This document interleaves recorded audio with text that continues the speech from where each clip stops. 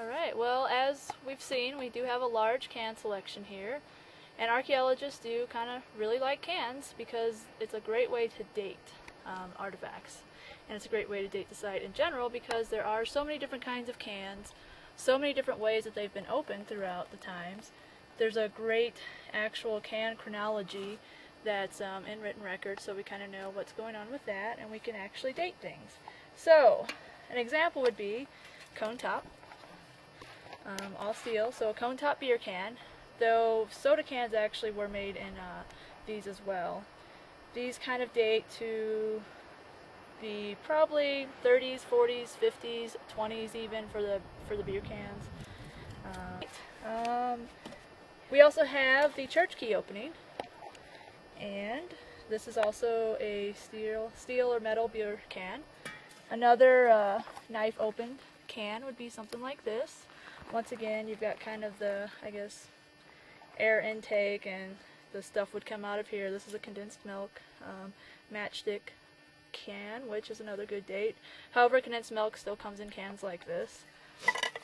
Um, we also have a coffee can.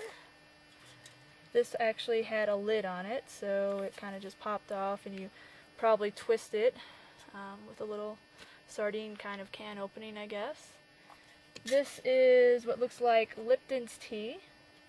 And once again, when you have all this writing on here and you can actually see things, it's a good way to date.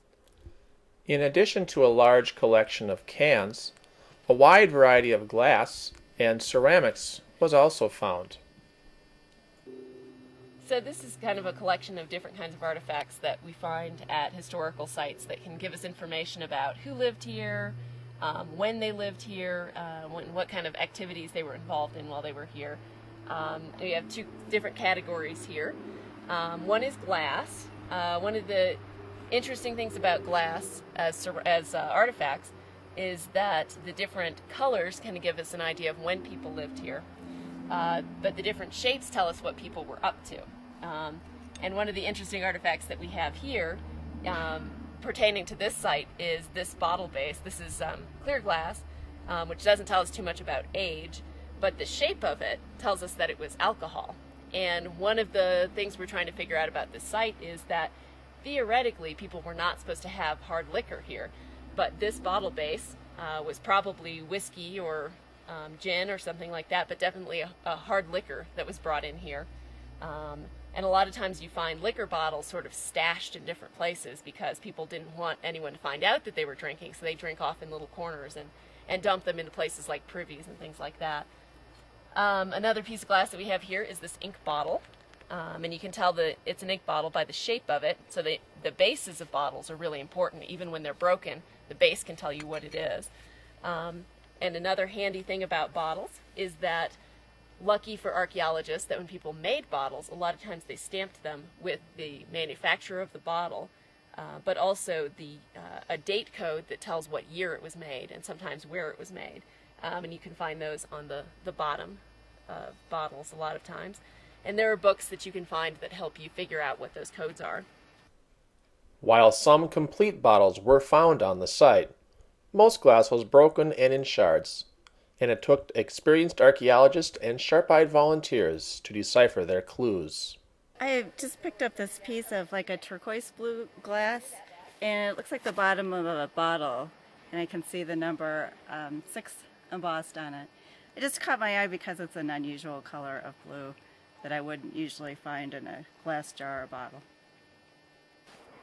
Another really informative artifact for town sites and things where there were different kinds of people, families and bachelors, and maybe different kind of classes of people, is ceramics. Um, ceramics can tell us a lot um, about what people were doing if they were storing things in a vessel like this, um, or if they were serving things in something like a teacup.